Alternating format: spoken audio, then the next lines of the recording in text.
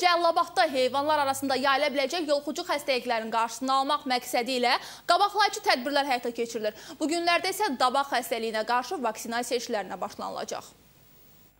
Cəllabad rayon baytarlıq idarəsinin həkimləri gücləndirilmiş iş rejiminə keçib. Respublika Kənd Təsərrüfatı Nazirliyi tərəfindən təsdiq olunmuş epizodik plan əsasında rayonda heyvanlar arasında yayıla biləcək yolxucu xəstəliklərin qarşısını almaq məqsədi ilə qabaqlayıcı tədbirlər həyata keçirilir. Qeyd edək ki, aqrar rayon kimi tanınan Cəllabadda 100 min başa yaxın iri buynuzlu, 123 min baş xırda buynuzlu heyvan mövcuddur. Bu qədər heyvana 20 sahə baytarlıq məntəqəsi xidmət edir. Bu ilin birinci rübündə 85 min baş iri buynuzlu və 5 min 50 baş tək dırnaqlı heyvanlar arasında arasında iti epizodik qara yara xəstəliyinə qarşı peyvəndləmə işləri aparılıb.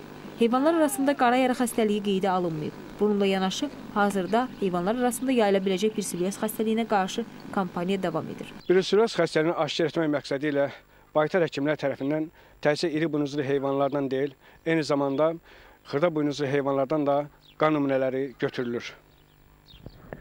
İndiyə kimi 10.141 baş iri buynuzlu heyvandan və 3000 başa yaxın qoçdan bruselyoza qarşı qan nümunələri götürülüb. İri buynuzlu heyvanlardan 13 baş xəstə aşkar olunmuş və e, bruselyoz xəstəliyinin təlimatı əsasında çıxdaş olunmuşdur. Rayon Baytarlıq İdarəsinin rəisi Vidadi Əliyevin bildirdiyinə görə, Dövlət Baytarlıq Xidməti Təchizat Birliyi tərəfindən dabaq xəstəliyinə qarşı kifayət qədər vaksin göndərilib. İki gündən sonra heyvanlar arasında dabağa qarşı vaksinasiya işləri də aparılacaq. Pərvin İsmailova, Təyyar Nəsilli, Vüqar Qaliboğlu, Space Cəllabad.